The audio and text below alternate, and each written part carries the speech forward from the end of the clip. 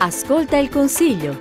Il Parlamento del Piemonte alla radio. Ben ritrovati. Nella seduta del 25 marzo l'Assemblea ha votato la decadenza da consigliere di Michele Giovine, pensionati, e la surroga con la prima esclusa della stessa lista. Il Consiglio regionale ha poi effettuato alcune nomine. La cultura come patrimonio collettivo irrinunciabile, ma anche come occasione di sviluppo economico per il territorio. Questo è il tema di apertura del primo numero 2014 di Notizie, che dà anche spazio a cooperazione, artigianato tessile, scuola, presenza del Piemonte nel mondo e sacre rappresentazioni pasquali. Margherita Oggero, scrittrice. Con la cultura si vive meglio e soprattutto si fa vivere meglio gli altri, perché con un minimo di cultura si evitano tante conseguenze disastrose, come quelle degli estremismi, come quelle quelle dei vandalismi, cioè tutti i soldi spesi in cultura sono poi soldi risparmiati in altri modi. Sempre in ambito di comunicazione da segnalare il nuovo servizio attivato dal Consiglio regionale che consente di ascoltare la lettura automatica dei comunicati stampa pubblicati sul sito cr.piemonte.it. L'iniziativa si aggiunge alla versione ad alta visibilità del sito, al TG settimanale nella lingua italiana dei segni e alla pubblicazione in braille con la descrizione di Palazzo Lascaris proposta ai visitatori. Presentata il Piemonte delle Autonomie, rivista quadrimestrale online di scienze dell'amministrazione promossa dal Consiglio regionale del Piemonte. Il primo numero è dedicato alla vasta tematica delle riforme del sistema istituzionale all'ordine del giorno del legislatore nazionale. Enzo Balboni, Università Cattolica Milano. Il senso di questa iniziativa è proprio quello di rilanciare l'autonomia, sia l'autonomia come concetto di farsi il governo da sé, autoamministrarsi,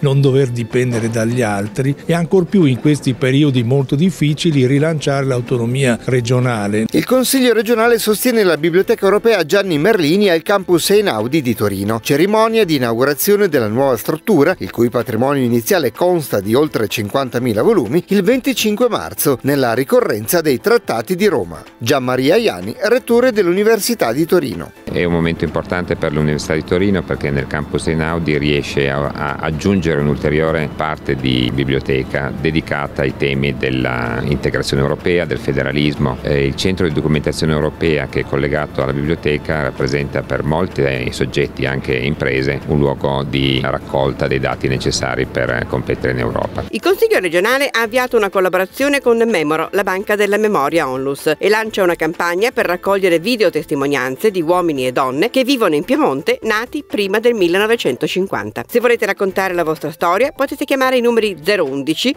02 03 800 o 011 57 57 403 per fare l'intervista. Una storia personale diventerà patrimonio di tutti. È tutto dal Consiglio regionale. A risentirci! Ascolta il Consiglio. Il Parlamento del Piemonte alla radio.